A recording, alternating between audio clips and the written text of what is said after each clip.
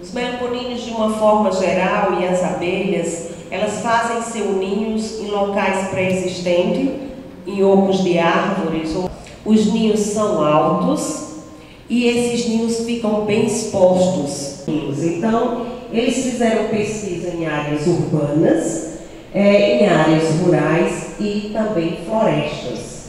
As florestas sempre elas faziam mais nas bordas, elas não faziam na parte interna da floresta.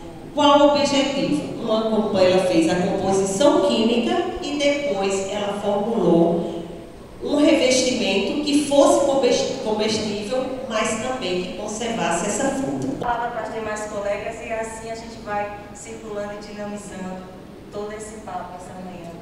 Mas as mulheres elas têm algumas características. Palavras da professora Renata, minhas palavras também. Eu admiro muito o trabalho da professora Renata, porque ela desde sempre dá ênfase no trabalho das mulheres. E isso é muito importante né, para um estado do Nordeste, para o Brasil, para a América do Sul.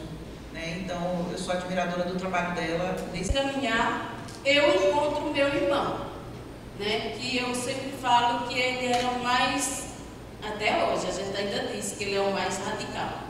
Sou filha de, de 12, sou irmã, né? então, mas sou filha de 12 próprios. Né? Então, assim, somos 12 irmãos, seis homens, seis mulheres.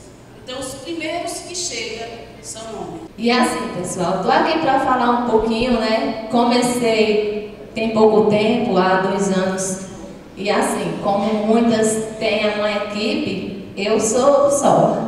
Tenho apenas o Instituto Madeira da Terra, que ajuda, e o professor Tássio é, já foi visitar lá em casa também.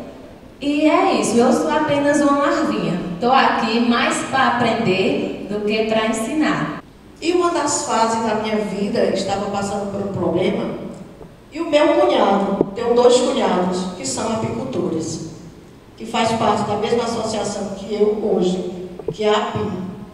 E ele me convidou para ir participar da reunião que estava acontecendo na associação deles na época, que estavam trabalhando no estatuto.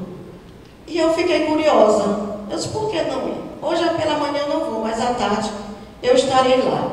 E quando terminei o curso de apicultura, eu já estava sendo, era sócio da APIM.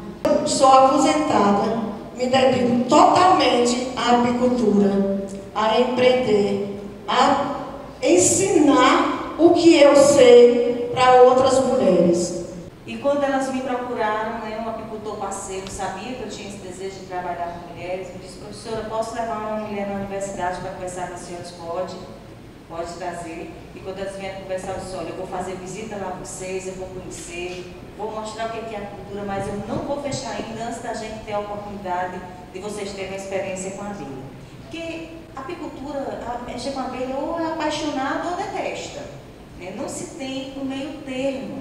Ou se ama ou se detesta. Então, no meio do percurso, apareceu um enxame, fomos fazer uma prática e a partir daí planejamos, montamos a piada coletivo e hoje eu tenho assim, uma grande alegria.